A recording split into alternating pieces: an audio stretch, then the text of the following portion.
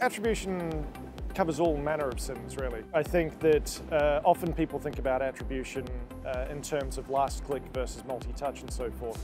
And really the truest form of attribution is to understand value and to really understand whether or not digital or media or any kind of exposure has actually changed the behavior of a user. So with the future of attribution, unfortunately, I think it's really going to be more of the same. Um, I don't see anything which is going to bring Google and Facebook closer together. I think that we're going to continue to see these two separate universes even get further apart.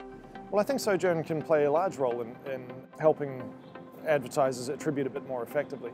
Uh, and one of the big reasons for that is that our audiences are not behind walled gardens. And one of the great things about the Sojern audience is that we give uh, advertisers the opportunity to reach these massive audiences, get a 10x increase of reach from what they, their current audiences that they've got, um, but then also have full visibility to be able to attribute them correctly.